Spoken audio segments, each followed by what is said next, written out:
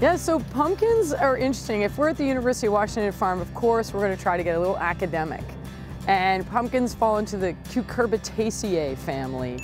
You can remember cucumbers are also in that, Cucurbitaceae. There's Cucurbita maxima, moschata, and pepo. They're also related to cantaloupes, cucumbers, zucchini, watermelon, all in the same plant family. But winter squash, we have a special fondness for this time of year because of their bright orange color, but they actually have a vast array of colors, spots, speckles. Traditionally, people who made pumpkin pie, they used a much smaller called New England pie pumpkin. Uh, the super large, gigantic pumpkins that you're seeing now that top out about 2,000 pounds.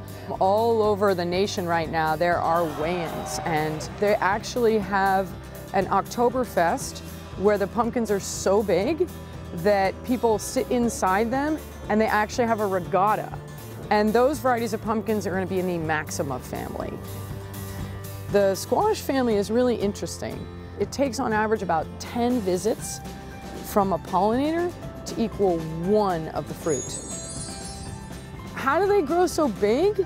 They can grow 50 pounds in one day towards the end of their life. A lot of it's water, watering them to get them really big. And then the nutrition of the soil. And then it's environment. How warm, how much sun, as well as genetics, DNA in the seeds that are selecting for something that's really big.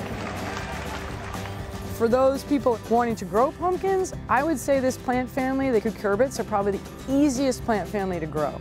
I think everybody should give it a try.